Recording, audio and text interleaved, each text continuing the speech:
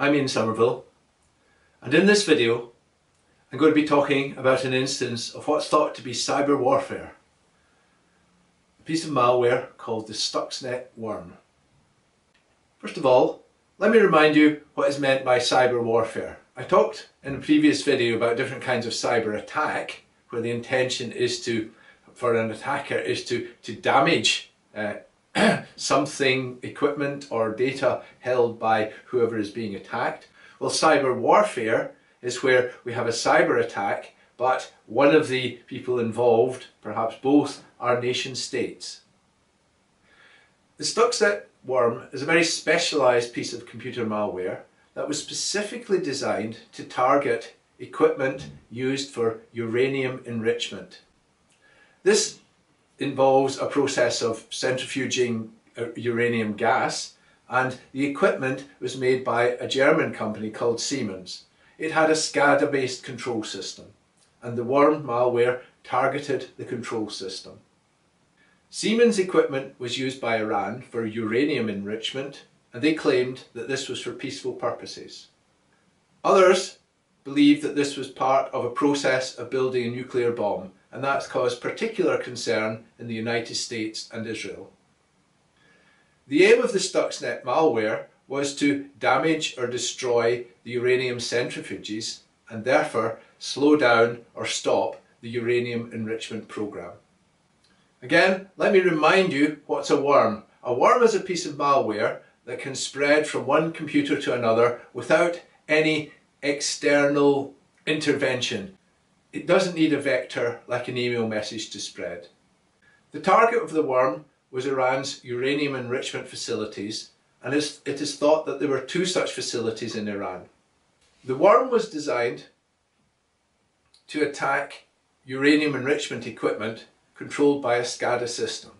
This SCADA system was a generic SCADA system, part of a family of systems made by Siemens, but it had been modified to take into account the particular characteristics of the uranium enrichment equipment. The worm was specifically targeted at that software. It spread to, but it did not damage in any way other systems using a similar control system. What the worm did was that it, it took over the control from the existing SCADA system. It sent signals to the PLCs, which were controlling the individual centrifuges, and it caused these to speed up and slow down the centrifuges. This introduced vibrations, and essentially the centrifuges shook themselves to bits, so they were destroyed or damaged by these vibrations. The worm also blocked warning signals back to the operators of the SCADA system so that they were not aware that these vibrations were occurring and therefore could not shut down the system. The way the worm got into the system was through Windows systems that were used for configuration. I discussed this as a way of getting into uh, SCADA systems, how although these systems may not be connected to the internet, they are connected to other systems and these, this is a way in which they can be penetrated. The worm used four different vulnerabilities to get into the system, three of which had been previously unknown. What this meant was that by fixing one of the vulnerabilities, it did not stop the spread of the worm and the Iranian operators had to understand exactly how the worm worked before they could stop its spread and remove it. In order to spread from one system to another, the worm took advantage of a vulnerability in the printing system and it used this to actually jump from one configuration system to another and hence to infect a number of uranium enrichment systems. This was based on peer-to-peer -peer transfer. There was no need for those systems to be connected to the internet. I talked before in my SCADA videos about the myth of the air gap, the notion that you can, if systems are not connected to the internet, then they are secure. Well, this Stuxnet worm illustrates how wrong this is. It's thought that the way in which the worm was, in, was introduced into the system was through USB sticks and it took advantage of a vulnerability in the Windows operating system which allowed the penetration of malware through the USB port. It's not clear how the infected USB sticks got into the system. In all probability, it was probably because they were given away free or left lying around by an agent or something. We know that it's a natural human tendency when they get something like that to plug them in to see what's on them and this looks like what has happened in this case. It's a warning, be very careful of free USB sticks or, or anything that you find lying around. You really don't know what's going to be on them. The nature of these things is we don't know exactly what happened. The speculation is that between 900 and 1,000 centrifuges were destroyed by the actions of the worm.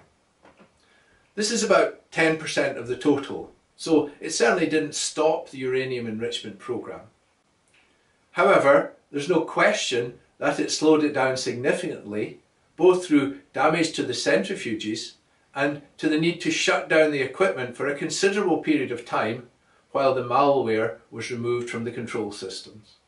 Because of the complexity of this worm, the number of vulnerabilities that have been exploited, and the fact that the developers obviously had access to expensive uranium enrichment equipment, it's thought that the worm was developed by the intelligence agencies of nation states rather than by disaffected individuals.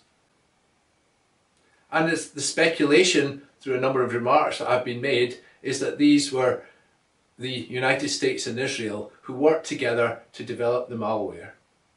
Another unproven speculation was that there was no intention for the worm to spread beyond Iran and beyond uranium enrichment equipment. However, a mistake was made in the development of the worm, which meant that it did spread and that significant infections have been reported in other countries such as India, Azerbaijan and Indonesia. It's also thought that the Stuxnet worm is not a single worm, but is a family of worms. And using similar vulnerabilities, this may have infected other equipment of different types. Again, speculation is that there's a, a, a variant of the worm called Duqu, which has again infected significant numbers of systems in Iran. And this does not damage equipment, but rather collects information. It collects keystrokes and send these back, sends these back to some other server.